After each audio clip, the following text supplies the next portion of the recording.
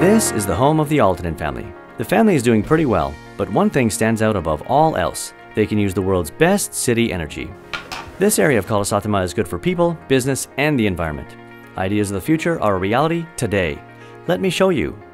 Kalasatama is a model area of the smart energy system. Everything functions with the best city energy in the world. This means efficient cogeneration of power and heat, utilization of recycled energy in district heating and district cooling, and renewable energy sources.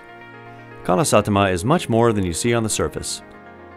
Smart, high-tech solutions working out of sight in the background safeguard an uninterrupted power supply that is always available. Solar energy is captured close to the residence, and energy fluctuations on a cloudy day are balanced with the energy storage. Smart technology ensures a smooth, everyday life without the residents needing to worry about it. Members of the Aaltonen family can monitor their electricity and water consumption in real time. It's easier to avoid unnecessary consumption when you know how you use energy. With the help of the metering data, it's possible to reduce your energy and water consumption by up to 15%. The Aaltonen family controls their electricity consumption in a very smart way. They can utilize the hours of lower priced electricity and that way balance the peaks of their electricity consumption. Household appliances can also be controlled remotely with a computer or mobile device whenever you're on the move.